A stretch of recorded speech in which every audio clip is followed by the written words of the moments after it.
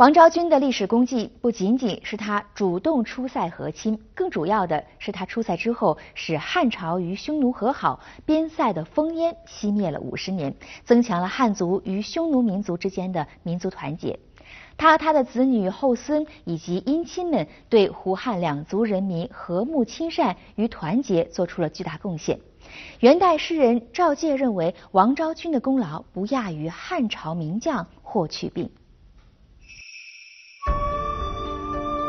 据班固《汉书·匈奴传》记载，王强字昭君，号宁胡胭脂。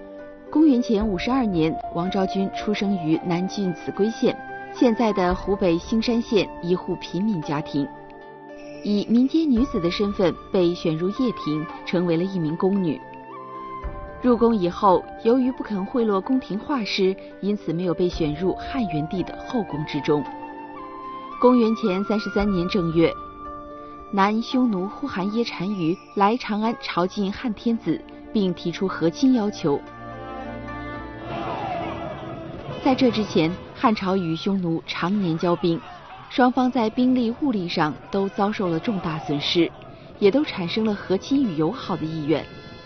但是，匈奴内部贵族之间常闹矛盾，在对汉政策上意见也不统一，有时愿意和亲，有时又出兵侵扰。导致汉朝对匈奴也始终存有戒心。呼韩邪单于是第一个到中原来朝见的匈奴单于，因为匈奴贵族内部的权力斗争，他曾派遣自己的儿子入汉，对汉称臣，借汉朝的势力保全自己。此次正式向汉朝提出称婿请求，是他第三次来到长安。汉元帝出于边疆安宁的考虑，欣然应允。从众位宫女中挑选出王昭君，给予册封，赐给了呼韩邪单于，并改元为晋宁。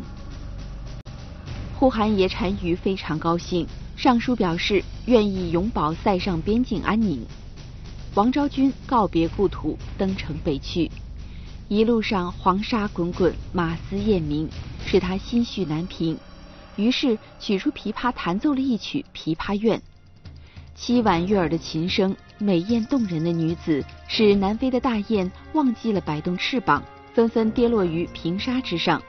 落雁便由此成为了王昭君的雅称。王昭君来到匈奴，被封为宁胡胭脂。胭脂是汉代匈奴君主正妻的称谓。呼韩邪单于也因为迎娶了王昭君而广为后世所知。昭君出塞后的几十年时间里，汉匈两家保持了友好和睦关系。昭君出塞不但结束了匈奴多年的分裂和战乱，而且为中原王朝的大一统奠定了基础，使当时相对落后的少数民族对中原的先进制度产生了向往，促使一些少数民族效仿中原制度和农业生产方式。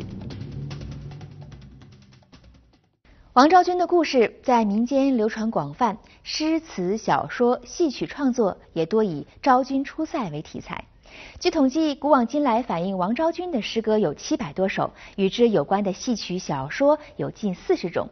写过昭君事迹的著名作家有五百多人。昭君出塞这段民族团结的佳话，在中国历史上流传不衰。